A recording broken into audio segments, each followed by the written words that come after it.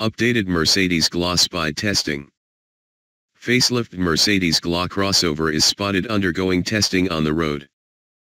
The Mercedes GLA is due for a facelift to bring it up to date, and our spy photographers have caught it testing for the first time. It's set to be fitted with updates already seen on the A-Class, which was updated last year.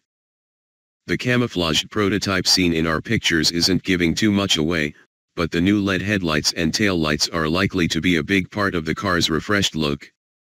A new grille design, fresh front and rear bumpers and new exhaust tail pipes will complete the design.